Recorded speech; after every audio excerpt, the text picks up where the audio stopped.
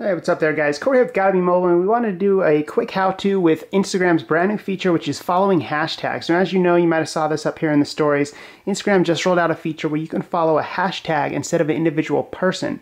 That way any topic you're interested in or you know songs or what have you or sports teams, you can follow the actual hashtag rather than just the franchise or just the team or what have you.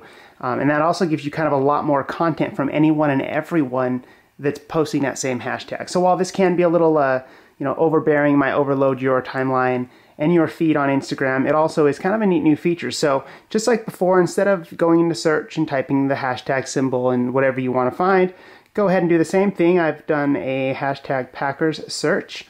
And once it finds some of my topics, I can go ahead and click follow at the top, just like you do to follow anyone on Instagram, but now you're following the hashtag instead.